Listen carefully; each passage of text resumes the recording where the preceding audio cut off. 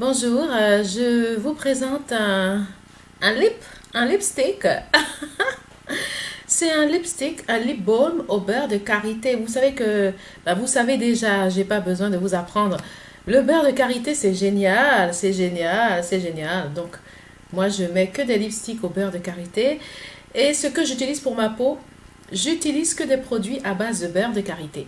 Je suis abonnée au beurre du karité, au beurre de karité pour ma peau. Euh, parce que moi j'ai une peau fragile et euh, voilà. Donc je peux mettre que des produits, euh, ben, que des choses naturelles à base de beurre de karité. D'autres produits, des crèmes à base de aloe vera, beurre de karité, tout ça. Et dans lipstick beurre de karité. Et voilà. I, am, I feel on top of the world. Donc, il y a une personne, euh, une personne qui a fait une demande, euh, qui a fait, qui a fait une demande, soi-disant, en Côte d'Ivoire, à Abidjan, à l'ambassade de France. Il y a une personne qui a fait une demande pour aller en France. Et vous savez que c'est difficile d'avoir les papiers pour venir en France, les visas, tout ça. À l'ambassade de France, des fois, tu fais la queue, mais pour avoir les visas, si tu n'as pas la nationalité française, c'est difficile de venir en France. Après la Belgique, je ne sais pas si c'est peut-être plus facile d'aller en Belgique, ça je ne peux pas vous dire. Euh, parce que moi, je suis allée en Belgique avec ma carte d'identité française. Donc, si tu n'as pas la nationalité française, que tu vas en Belgique en tant, euh, en tant que, par exemple, ivoirienne complètement, là, je ne sais pas, je ne peux pas vous dire. Euh, mais cette personne-là, donc comme cette personne, elle a attendu devant l'ambassade de France.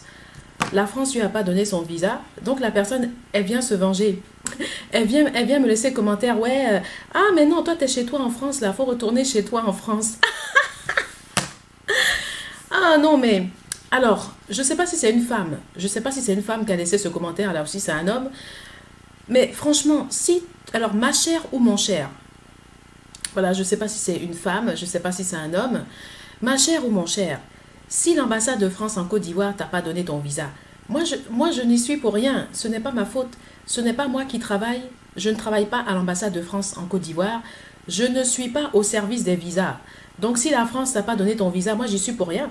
Viens pas te venger parce que je t'ai dit, je t'ai dit que je suis métisse. Je t'ai dit que je suis française et que je suis ivoirienne. Et toi, parce que la France t'a pas donné ton visa à Abidjan, donc toi, tu viens te venger là, tu viens laisser commentaire, ouais, tu, tu n'es pas chez toi en Côte d'Ivoire, allez, retourne chez toi en France. Donc toi, c'est comme ça, quoi. Parce que, parce que tu voulais venir en France. Tu es parti faire demande de visa. Tu es parti faire demande de visa, là, je sais pas si c'est au euh, ambassade, si c'est au plateau, je sais plus, je me rappelle plus. Tu es parti faire une demande de visa et comme, comme euh, l'ambassade de France à Abidjan, ils veulent pas te donner ton visa, je sais pas pourquoi.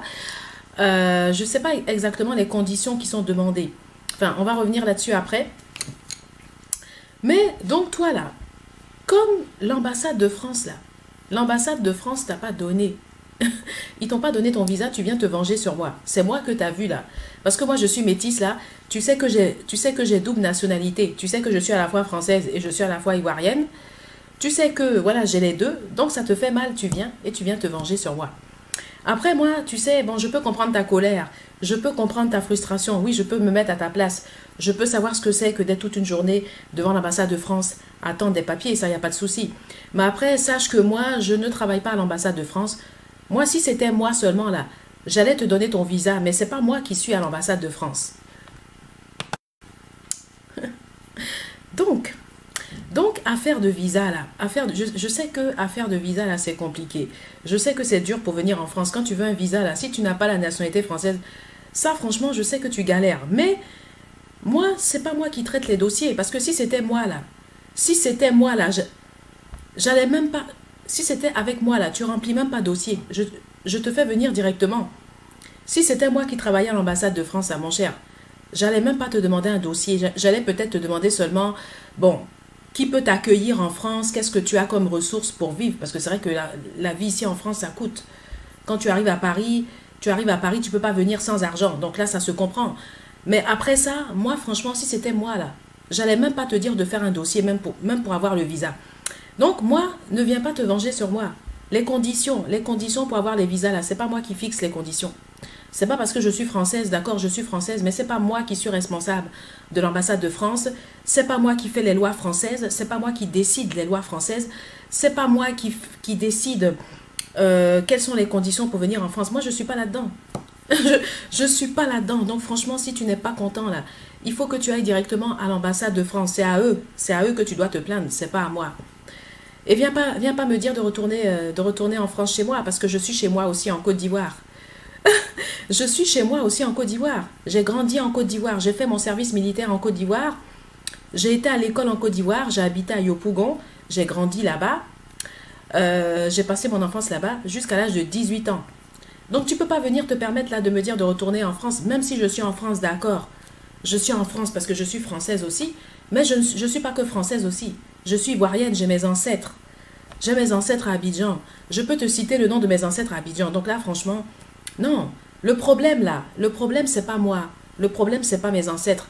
Le problème va régler ton problème à l'ambassade de France. C'est pas moi qui fais les conditions. C'est pas moi qui traite les visas. Si c'est moi là, je te dis, si c'est moi là, je te demande même pas dossier, tu vas venir directement. C'est tout. Après, ce que je vais te demander seulement, c'est tes ressources, parce que tu peux pas venir en France gratuitement. Ici en France, la vie est chère.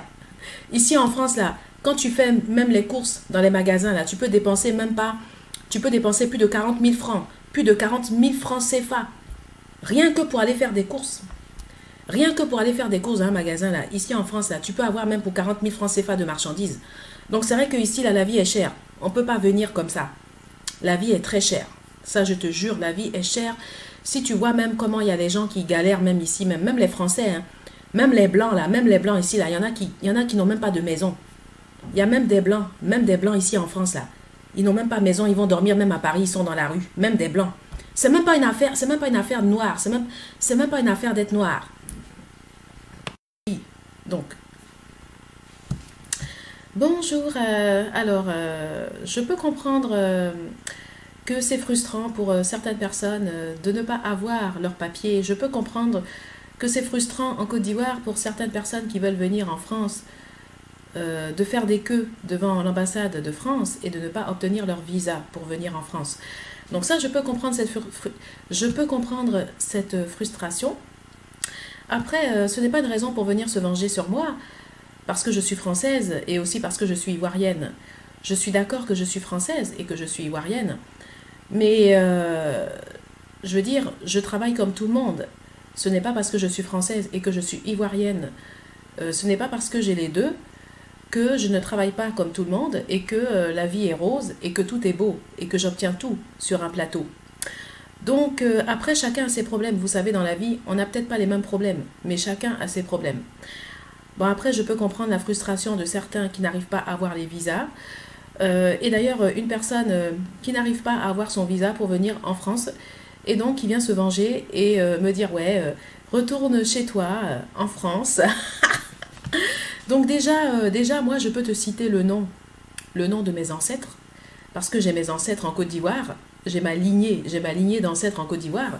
Donc même si je suis française, je suis aussi ivoirienne et je peux te citer le nom de mes ancêtres ivoiriens. Donc tu ne peux pas venir me dire, tu ne peux pas venir me dire retourne chez toi en France. Ce n'est pas possible parce que moi j'ai mes ancêtres aussi en Côte d'Ivoire. Donc je suis aussi chez moi en Côte d'Ivoire et ça tu peux pas venir me dire ça. et en plus, je ne suis pas responsable, je ne suis pas responsable de l'ambassade de France.